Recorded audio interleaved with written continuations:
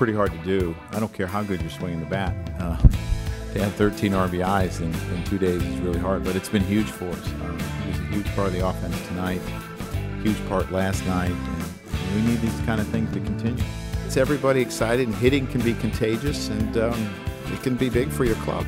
Uh, it's not bad, you know, it's happy. So, you know, you don't see those days, so I had to take those days because, you know, like I said, so it's not easy.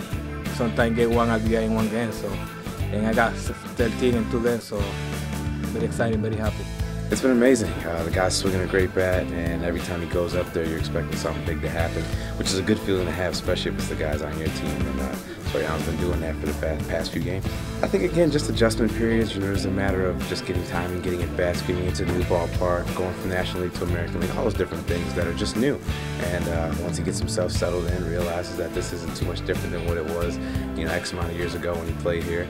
I think everything just settles itself in. We're playing a lot of the teams that are in front of us. We're in our division a lot, um, going down the stretch here, and um, just try to ride this as long as you can.